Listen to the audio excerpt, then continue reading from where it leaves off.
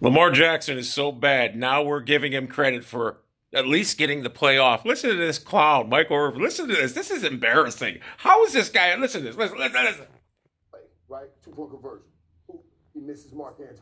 Right, look touch. But now, now, do you do you give him credit for getting that ball off? Yeah. T.J. Watt was right there. It was, Yeah. He had to move to try to get that ball off. I, yeah, I and I thought maybe a little touch, or I could have had Mark Andrews just plow out of there a little bit. Yeah, don't just run. run. He turned too quick. You don't run. Right? I think that is an incredibly difficult throw. And And now Mark Andrews, he turned too quick. He should have ran, plowed up. Are we now we're, we're blaming players because Lamar Jackson can't throw a football? What the fuck is wrong? If that was Mayfield, like, oh, you this guy's terrible. He's horrible. He can't make that throw. He's too short.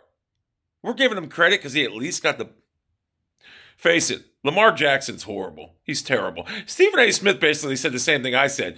However, Stephen A. said it in such a low, low voice speaking. He wasn't like, he's like, and he just doesn't see it in the playoffs. Quietest I ever seen him talk because he didn't want to talk louder because then it looked like he was really lambasting them. But yeah, I mean, this is embarrassing. this is.